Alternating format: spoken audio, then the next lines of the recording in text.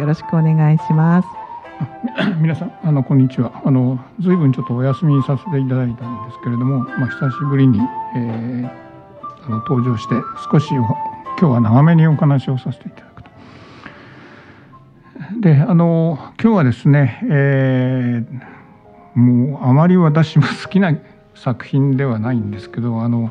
はい、シェイクスピアに「オセロー」っていう作品があるんですけれどもこのオセロとうんとモーパッサンのですね「あの紐」という作品がありましてでこれをまあ重ね合わせて喋りながら、うん、えー、古美術の話をして、えー、なんかこう楽楽しい話持っていきたいなと思ってるんですけれども。はい、ですね。うん、あので今日は少し長めにという、はい、あの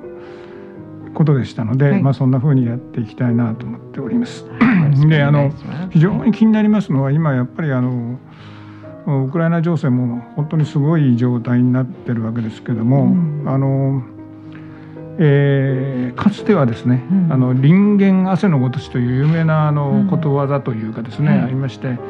あ、いろいろな方がお使いになってるんですね。あのごく普通にまあ昔の人は使ったと、人間汗のごとし、ね、天使の言葉ってですね、で汗はあの流れますと体の方に戻ってまいりませんので、うん、体内の方に戻らないので取り消すことができないというですね、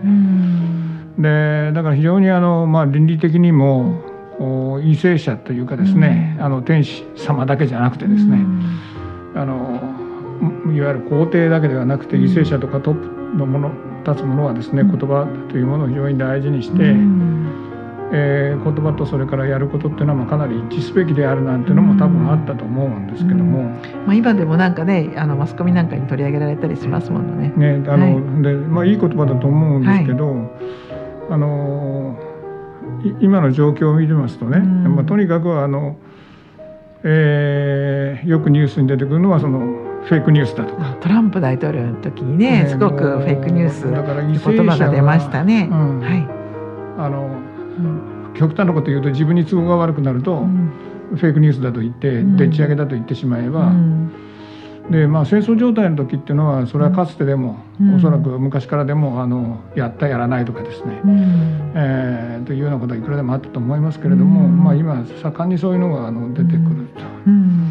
そうですね、罠にかけるっていうかですね、非常に嫌な話なんですよ。あのオセロって、オセロ。あの四大悲劇の中では、まあ僕もあんまり好きではないシェイクスピアの、ね、作品はたくさんありますけど、このオセロに関してはそういう部分が。ことが言えるんですけどね、はい、えー、悲劇ですけど、本当にあの、えー、で、あのちょっとこういうところがあるんですよね、まあ、オセロの筋書きっていうのは結局死んじゃうわけです、うん、デズデあのデズデモンダも死んじゃうし、うん、主人公のオセロも死んじゃうわけでしてね、うん、もちろん悲劇ですからそういう声になってるんですけども、あのオセロを罠にかける、話なんですね。トラップにかけるって、そのもう本当にあの罠にかける話と。であのこれベニスなんですよ。これ話がね。みんなすぐ忘れちゃうんですけど、うん、なんかイギリスかなと思って、ね、イギリスかなと思ってたんですけど、うん、そうじゃないですね。ベニスの話で、でだから元老院が出てきたり、あのそういうことなんですけれども、あのうんとまあルネサンス時代のベニス,、ベニスとお考えになればいいと思うんですけど。はいでねここのその最初のところで、はい、あのイヤー号というのとロデリー号というのが出てくるんですよね、うん、もう最初の場面です。あのベニスの街灯ですね、はい、街中で。であのイヤー号っていうのはもう大悪人なわけです、うん、えー、オセロを罠にかけると。うん。まあ、いろいろ嫉妬があるわけで、うん、というかいろいろあるわけでそれでオセロを罠にかけてやると言って見事にかかっちゃうわけなんですけども、うん、あのモンパッサンの紐と何で何で結びつけたいかっていうのはですね、うん、あのこういうくだりがあるんですね。うん、あの最初ロデリーゴとイアゴが先ほど申しましたように登場してくるんですけども、えー、あの要するにあの簡単に言っちゃうとイアゴの方がですね、うん、あの復刊というあの大将がいましてその後に復刊がいますよね、サブで。この復刊に自分がなり損なっちゃったという恨みから起きてるわけです、あのこのお話は。そいつにロデリーゴが乗ってきてるわけですけども、うん、こんな部分があるんですよね。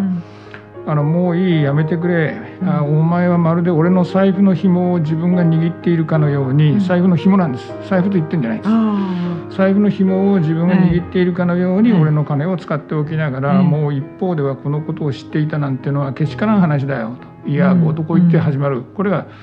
最初のセリフなんですね。でシェイクスピアさんという人はあの大体主人公が最初から入りませんので、あのちょっとした街頭の場面とか、どんな劇でもそうですね、あの直接に絶対にあの入ってこあのお芝居、ね、主人公は出てこない、えー、で、うん、あのここの財布の紐が面白いんです。うん、というのはですね、うん、ちょっと話を飛ばしまして、えー、どうせ嫌な話なので、えー、あんまりやりたいという喋りたくもないんですけどこんな嫌な話とか。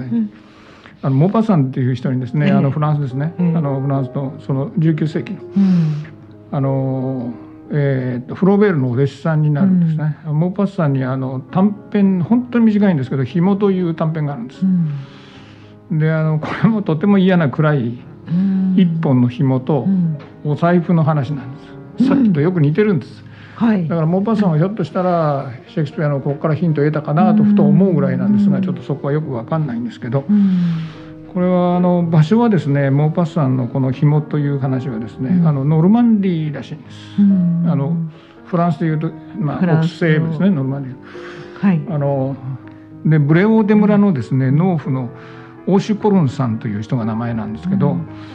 えー、もうリウマ人も患っていて、もう当時のことですからね、痛いんですよ体がね。ねところが非常にあの、まあそんなに裕福じゃない始末屋さんですよね、だから始末屋さんってどういうんですかね。始末屋さんっていうのは要するにまあ、えー、もったいないもったいないといつも思ってる。あ、うん、うん、あのまあ始末、よく始末してると昔、うん、皆さんそうでしたよ、うん、ねあのこう繕い物をしたりそんな、何でも買うわけじゃないんで、あのちょっと破れたら縫うとか、あの余分な話ですけどいつもあの渡辺崋山のね私は、まあ、愛知県出身だから幕末の幕末の画家としても優れた渡辺崋山の、あの人過労なんだけど非常にあの貧しいんですよね。あの、たかだか田原藩という一万石の小さな、で、まあ、絵描きさんとしてもすごいもう本当に歴史に残りましたけども、あの人のお母さんなんかも本当にあの始末屋だって買わなかったそうですから。侍の方でもそういうことがあったってことなんですね、やっぱり大きな大,、大名家じゃないですからね、小さな大名ですから。もちろんそれとおそらく火山さんはあのいろんなもの買ってたと思います。あの、いいものも。そうですね、それを集めて。だからお母さんは非常に始末屋だったとよく言われますけど、まあその大志コルンさんがですね、あの拾わなきゃいいのにリウマチの痛みがあるのにですね、あのそこに位置があったんですね、うん、あのゴデルウィルと言ってますけどその位置で、うん、まあ、泥もこうドロドロでですね、うん、そしてこれ汚い話なんですよね。あの牛とか鶏なんかも売ってるそういう位置なんです、大にぎわいの。でそこにあの1本のわずか1本の紐なんですよ、これ拾っちゃったんです、もったいないと思って始末屋さんだから。でそいつをですねあのバグですね当時のことですからこう馬のこのい。ろいろ。ええ。ー、バグを扱っている男のマランダンっていうのはこれ仲が悪いんですよ。うん、で見てしまったと。うん、で非常にあのリウマチですからね、うん、あのそんな簡単にかがめないわけですよね。でごちゃごちゃやって時間かけて紐を拾ったらしいんですよね。でちょうど折り折り悪くですね、あのえー、なんていうかなこの間が悪いことにですね、その日にですね、この位置でですね、ウールブレイクさんという人が500フラン入りの黒革財布を落としたということがあったんです。で500フランというとやっぱり当時相当な額だと思うんですよね。1フランが多分あの今よりもだって買い価値が高いですから。相当な額の本当500フランも入ったのかなと思いますけど、えー、で、まあ、黒革財布で当時のことですからあの巡査さんが来て、うん、で町役場まで連れて行かれた、うん、あの嫌疑がかかっちゃったわけです。紐拾ったから。そう。マランダン紐拾っただけなのに、うん、まあチクったんですね今で言うと。売ったんですね、うん、でこの、まあ、正直者のオシ,、オシコルンさんがですね、これだよ自分の紐拾ったのかと一本の紐見せたんだけどなかなか信じてもらえないと。でちょっと途中なんですけども、うん、このお話はですね、うん、紐っていう話はあの自己啓発論みたいな中によく出てくる話なんです。はあ、あの要するにあの結論はですね、うん、あの怒りとか不満というのは持たない方がいいと、ポジティブに生きろっていう時に、この話がよく出てくるんです。モーパーさんのこの紐っていう話は。でひどいもんで、要するにあの、引用の引用になってくんで、本来は農夫なんですよ。これが実業家になったりね、ある本だと。えー、まあ要するにあの伝言ゲームみたいなもんですから、引用されて引用されて引用されていくうちにわけわかんなくなっちゃって、非常に面白いんですけどねこういうのも。あそうですか。読んだかなこれ、うん、だからその単なる農夫なんです、あのまあ本当にまあそんなに裕福でもない、で財布の方もひどい500フランも入ってたってんですから、でまあ翌日財布は見つかるんです、あそうでしたか、うん、見つかるんですけども、うん、でそのこの大志コロンさん、まあ、ここがやっぱりちょっとこう編集教というかですね、うん、しつこいんですね、あのもう嫌で嫌でたまんないと、うん、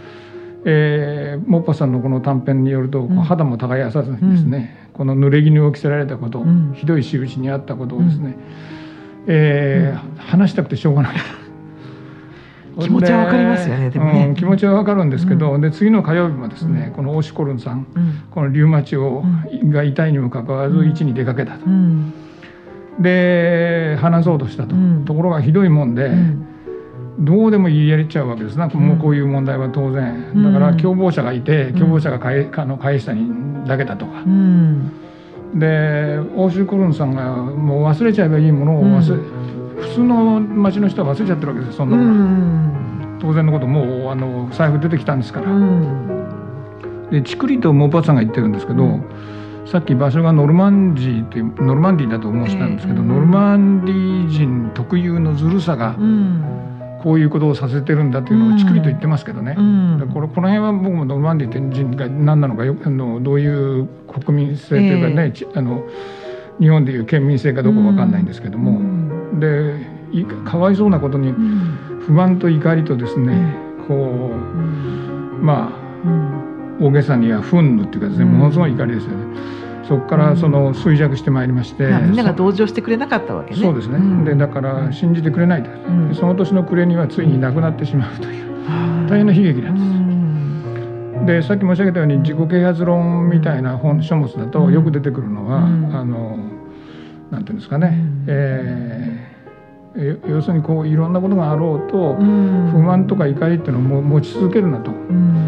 うん、でそうよくあの引き合いに出されるこれ有名な短編なんです。確かにね、うん、あの、うん、理解できますけど、あの他のこと考えて一生懸命あの肌耕してた方が このそしたら長生きしたかもしれないですよね。そうなんですよね。かわいそうな。そうなんですよ。うん、掘ってるうちになんかね、日本でいうと小判も出てきたかもしれないし、ね、大志コロンさんあの、まあ、そう本当にかわいそうなことにそうなっちゃったんですけど、で。まあ、いろんなお話を、うん、あの オセロを扱おうとしたもんだから、うん、あのまああんまりいいあれじゃないんですけども、うん、あの青柳瑞穂さんが訳されてるんですね、まあ、これ大変有名なあの役で、名役だと言われてますが、モッパッさんの短編集っていうのが、えそうですね新潮文庫にも入ってますしさまざまいろいろあるんですけども、あの青柳瑞穂さんという人がまた面白い人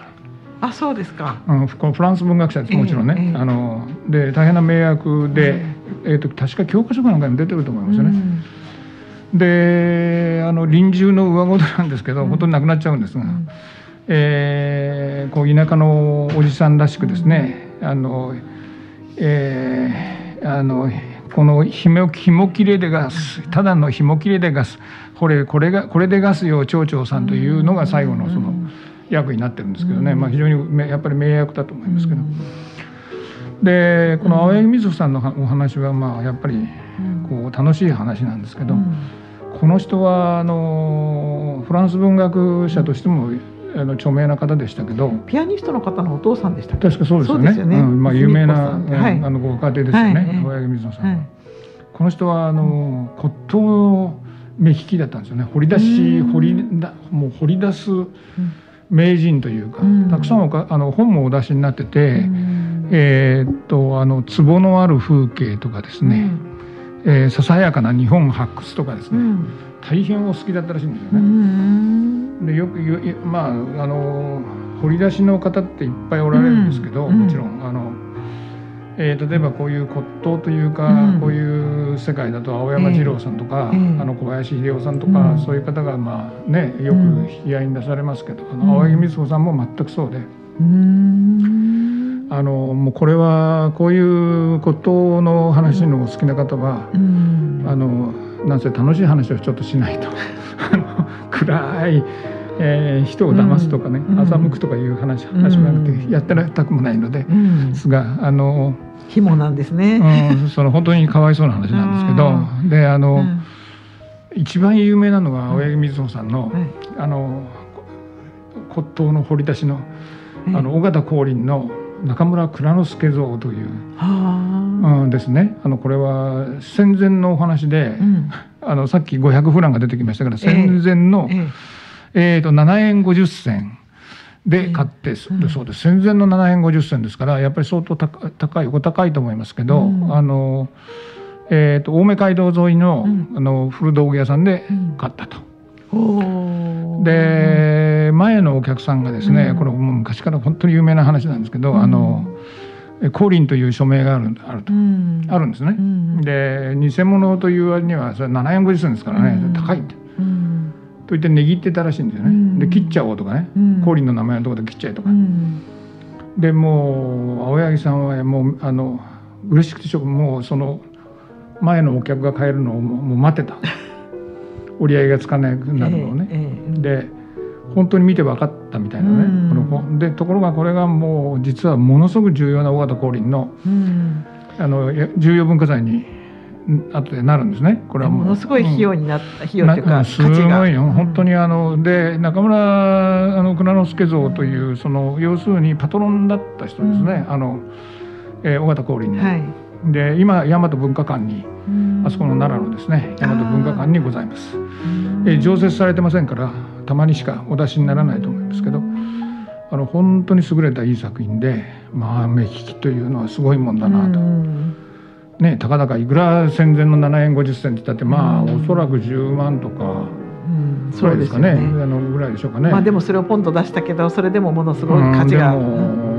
やっぱ分からなきゃできないですよねそれってね価値が分からなきゃだってワクワクしてたっていうのがもう自分のところに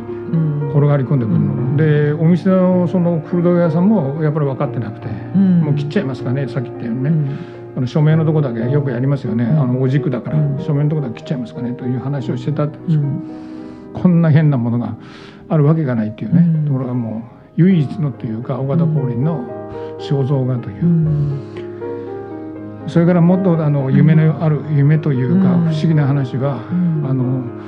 あれですね。これもあの壺のさっきの、あの、えー、川の河原のところでですね、頭だけ出してた。あの大きな壺、はい、これがあのこれも大変な名品であの平安時代のですね、あのいわゆる自然釉の壺らしいんですよね、大きなもんですこれ本当にあの。えーまあ、大きなだって3 0センチぐらいのもんですけど、えーえー、でそれをもうあのたかだか河原で、平安のもんですよね。平安平安町の。だからそういうあの、うん、もう非常にあの。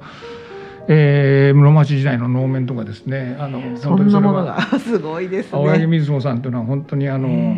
だからあのお宝が寄ってくる人なんですね。そういう感じの方ですね、うん、やっぱりまあ無欲なんでしょうね。お好きお好きだからやっぱりあの寄ってくる。あの京都に有名な柳隆さんというね、はい、あの川端康成さんあたりも、あるいは白洲雅子さんとかあの辺が、はい、あの辺りの方がしょっちゅう出入りしてたあの柳さんの、はい、もう青柳瑞穂さんのこと書いてますけど、うん、やっぱりあの非常に鋭いというか、うん、でお酒も好きで,、でまあ、このフランス文学者と言いながら非常にやっぱりそういうあの。フランス文学の人はやっぱりそういうところあるのかもしれない、小林秀夫さんもなんだかんだ言ってもフランス文学ですからね、だからやっぱりそういうところあるのかもしれませんけど、あのあんまりイギリス文学の人であの骨董のというのはあんまり、うん、あの聞かないんで、そうでもないかちょっとちょっと分かりませんけどね、なんかそういう、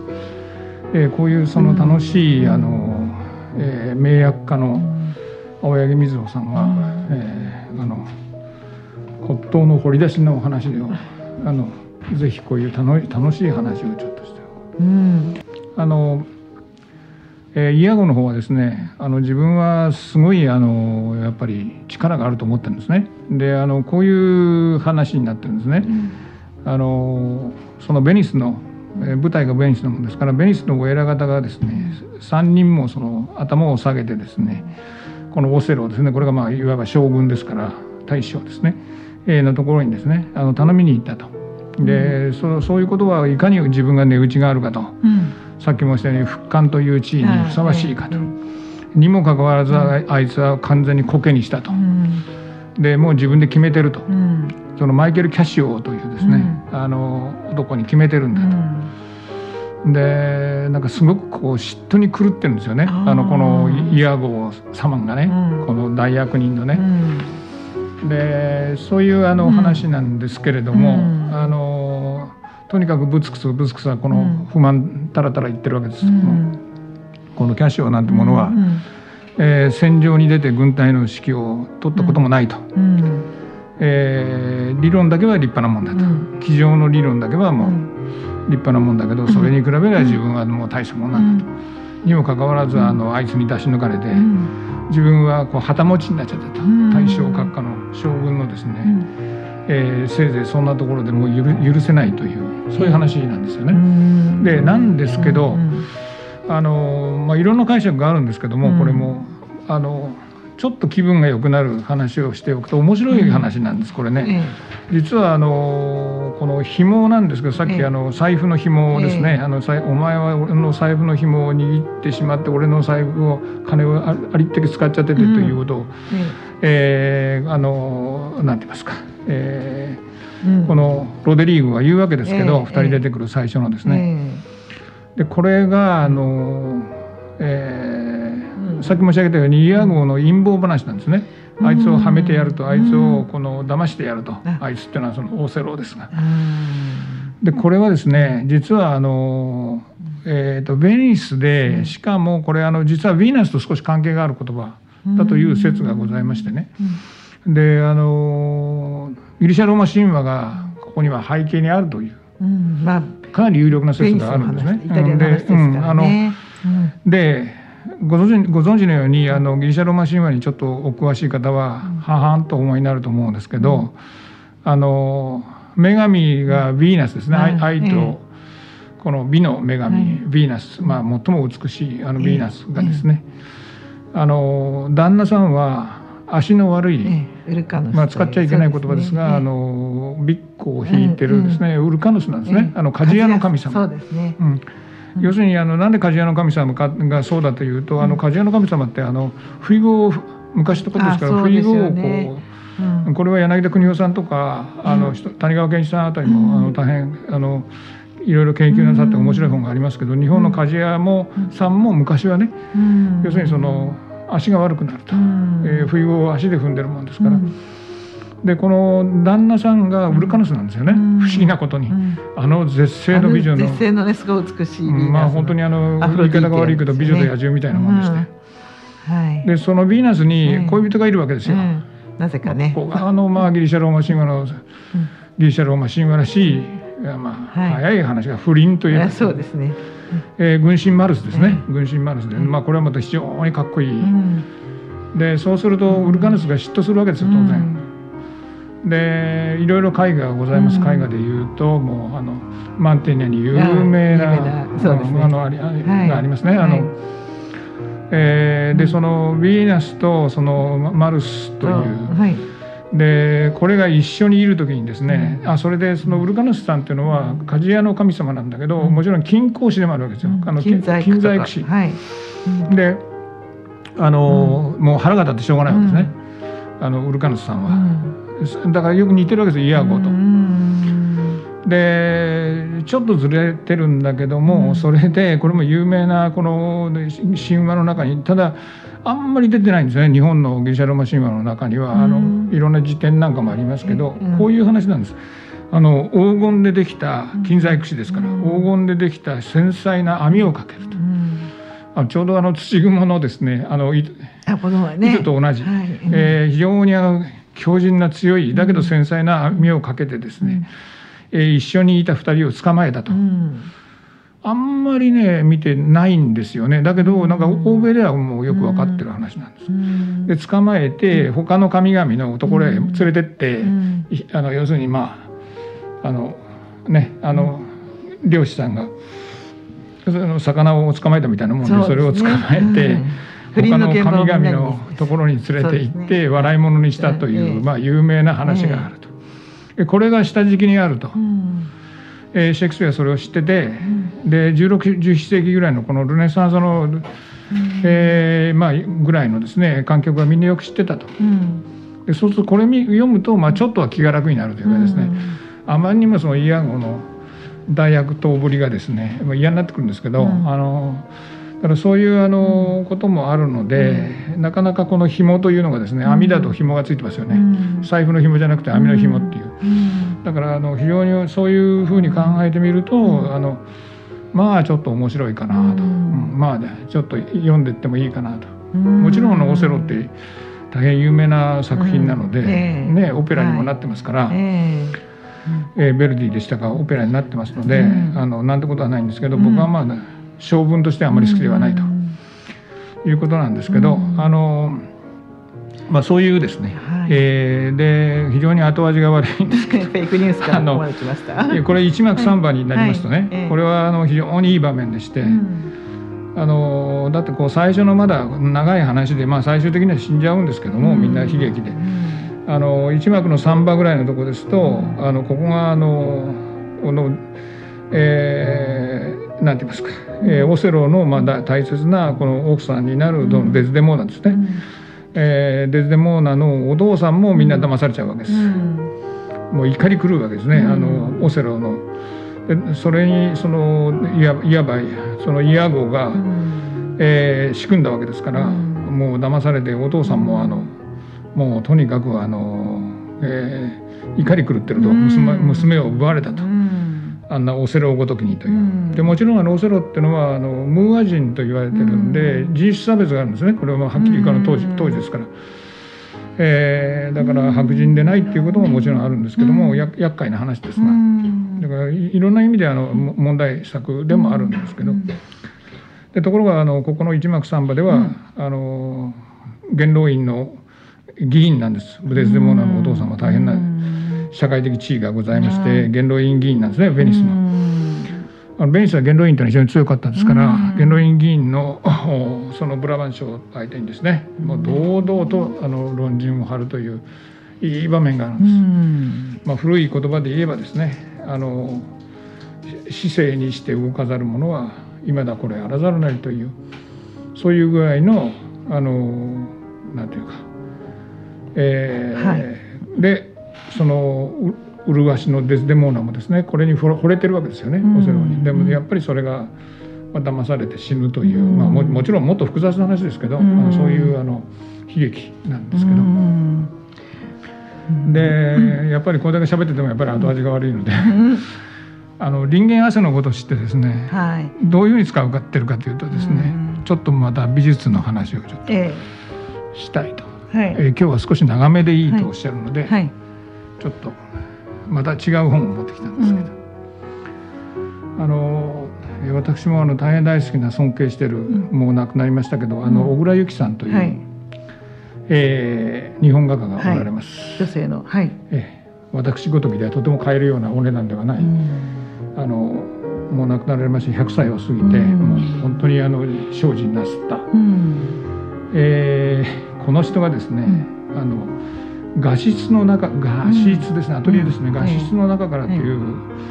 あのそうですねやや日記めいた、うん、非常に面白いエッセイ集をご自分では謙遜なさってますけども、お出しになってて続編もあります、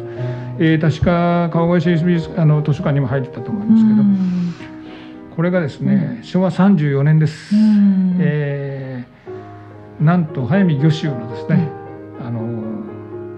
作品を、えー、銀座の弥生画廊でお買いになるという、うん、あのご存知の方も多いと思いますけど、うん、あの小倉由紀さんって鎌倉にお住みだったんですね。はい。うん、であの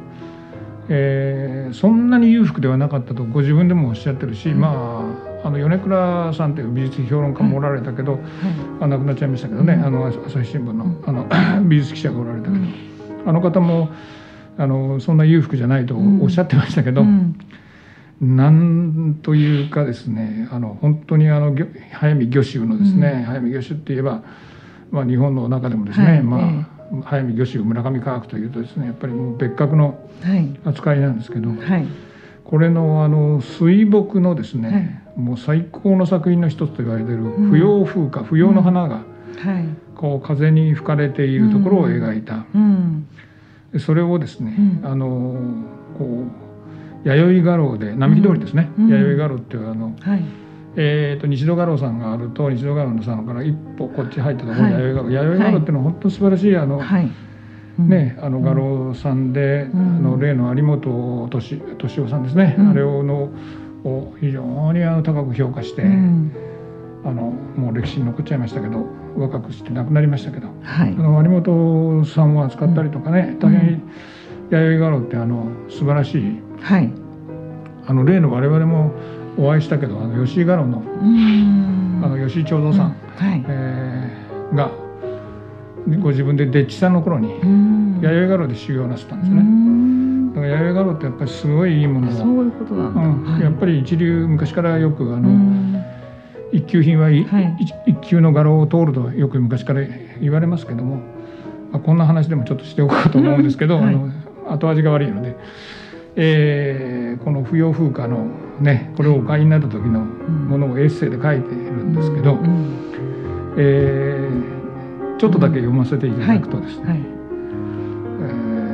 ー、この、えー、弥生画廊の、ね、店主の方ですね、うん、えー、これお売りになりますのと。思わず出たわけはこの映画千年魚州先生の試作展に出たのも、うん、どなたか愛蔵者のオクラの中からとばかり思っていたからだと、うん、今頃どうして、えー、画廊などにあるのか知らんといぶか,、いぶかしく思ったからだと、うん、えー、そうですよってでちょっと飛ばしますけども、えー、誰が魚州先生なんかの作品を私ごとき品的がと言ってるんですけど、まあ、貧しいものというんですね、えー、品的が買おうななんかと思うものかと。当の私が思ってやしないと、うん、そんなことを思っても及ばないことなんだから、うん、でも私は絵から目が離せないと、うん、えー、風に揺らぐ白不要の花は、魚州先生の精霊のように私の魂を捉えてしまった、明日になればまた誰かがこれを発見拝見することだ。ろうと、そして「おっと」と言って急いで買い取っていってしまう、そうなればいつまたあるいは永久に巡り合うこともないかもしれんと。でこの後が面白いんですね。えー、これお高いんでしょ？家が一軒建つくらいにね、とあの小倉由紀さんがご主人に、え聞いたと。で私は自分ながらよくもこんな厚かましいことを聞いたと後では呆れてしまったがあの時はスラスラと言ってのけたと。またご主人も平気で A250 ぐらいで願ってるんですがと、昭和34年の250万。でいくらぐらい今にすれば？それは高いでしょうね。大変なもんでしょうね、うん、まあ早見魚州だから当然でしょうけどね、と返事をされたと。ですると私の声は次に何と言ったか「ねえ私今自分の持ってるもの全部売ってお金をこしらえますから、うん、えー、そしたら売ってくださるでしょうかと」うん、そうするとお弟子さんと一緒だったんですね、うん、でゲラゲラとみんなお弟子さんたちが笑ったと。でご主人は笑わない。だってもう評価されている頃ですから、もう浦行さんが。そんなことなさらなくていいですよ、でこのアトルがいかにも浦行さんらしいんだけど、あのでねだからね一度でなく23回にもっとかもしれないけれど一生懸命お金をこしらえますからね、うん、他の方にお売りにならないで、それまでおみお店に預かっておいてくださいねと、うん、そしたらご主人が承知しましたと。えー、これ小川さんっていうんですよねあそこね、あの美術館もお作り,、お作りになってるあの弥生画廊さん、で、えー、承知しましたと、万事休すであると、人間汗のごとしかこうこう書いてらっしゃるだから昔の人は皆さんこう、うん、ちゃんと自分の言ったことはもう言葉でおっしゃったことは戻らないと、うん、決して戻ることはないから約束通りやるという、うん、で私も言ってしまったし、ご主人も承知してしまったと、今更仕方があるまいと、うぬぼれか否よくか、否私はあとは何もいらん、一つだけ持っていたいとかねて念じていたものがあると、師匠の安田幸彦さんですね、うん、えー、魚州先生から小林古慶先生の絵、うん、絵描きであるから欲しいのだと。で安田幸彦先生の絵は最近やはり弥生画廊さんのご好意で手に入ったと。でああ今日この魚州先生の不要風化に巡り合うとはというですね、うん、そういうあの、まあ、感動的なですね、でそのまあ某月某日になってますけど、だから次の日ですね、あのもう電話したんですよね。あのえー、もしもし小川さんですか？昨日は銀座のお店で失礼いたしました、旦那様まだお休みですか？とあのまだ奥様が出られたんだ、あのね昨日お願いした件ねあれは本当ですから、いかにもだから人間汗のことしない、あれは本当ですからご主人によくお頼みしておいてくださいねって、うん、はいはいちょっとお待ちください。今起きたらしいです、もしもしお待たせいたしました、うん、えー、ご心配なく、えー、すぐお届けいたしますそうですと。お金なんかどうでもいいんだ素晴らしい、うん、いい話なんですよね。いい話ですね、でいやいやお金少しでも入れてからにしてください、うん、えー、あもしもし本当に本当にですよって、で朝早くですね、また次の日が、えー、なんかでしょう某月某日になってますけど、弥生画廊さん白い不要なあの絵をご自身でお届けください、えー、すぐ床にかけていただいた。と、4畳半のとこには少し大きすぎるが、えぴったり感じが合うと。で恐ろしいくらいだと、えー、全くご縁ですね。不思議なもんですよと小川さんがおっしゃったと。えー、これはこれこの間 H 先生が店へ来られて誰だろうかと思うんですけどよく分かりません、うん、H 先生が店へ来られ昭和34年頃の H 先生で変えたというと、まあ、相当な方だと思うんですけど、うん、H 先生が店へ来られてご覧に入れたんですがね大変感心してご覧になったんですが、あなたのように値段も聞かれないし、この説は時々高価なものもお願いしてるんですがご縁がなかったんですよ。と。でまた某月某日また面白いことに今度は松坂屋のこれ美術部がございますから、まあ、高島さんみんなそうですけど松坂屋の福島さんという方が来られて「あのいいものを手に入れられましたね」と言ってそういう話でまた延々と続いているわけですね。人間汗のごとしなんですね。人間汗のごとしなんですね。うん、で本当にねもうこのエッセイはとても良くて、うん、この後はあのあれなんですよ。うん。この魚州先生のところにご挨拶に行く場面があるんです。本当にねやっぱりあのなんていうかな当時の魚魚州先生ですけど本当にあの陰銀で低い物静かな方だったと書いてますけど、まあ、人格も優れていたという。こんなのがですねこの「画質の中から」という小倉由紀さんのですねこれぐらいのエッセイ読まないとどうもあの騙すとか欺くとかね。だからそのあんまり気持ちのいい話ではない、ね、フェイクニュースからずっといい話になりました。ね。はい、そういうような問題